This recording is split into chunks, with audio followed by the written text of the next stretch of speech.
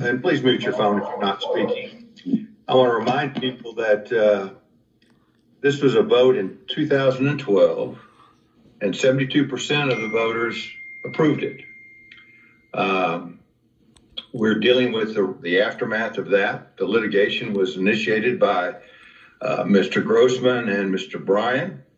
Uh, that litigation expense has come out of our general budget, not out of the uh, not out of any uh, uh, bond funds.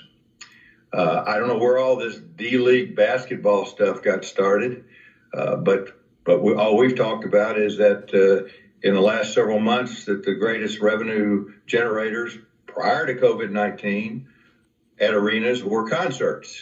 And that was where the majority of the money was coming from. So we haven't done anything. I would like Sam to please clarify, and then I'll turn it over to Mayor Pro Tem. Please clarify where we are and the fact that there are no dollars going to be allocated. There's no discussion and there's no vote today on this as an item anyway. It is pure discussion. But go ahead, Sam, and please provide some clarification for all those.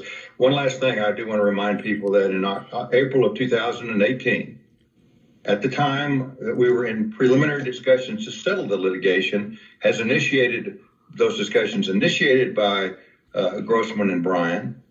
Uh, I offered Mr. Bryan at the time to purchase the property in what is the Union Plaza area for the cost that the city had paid for. it. He refused.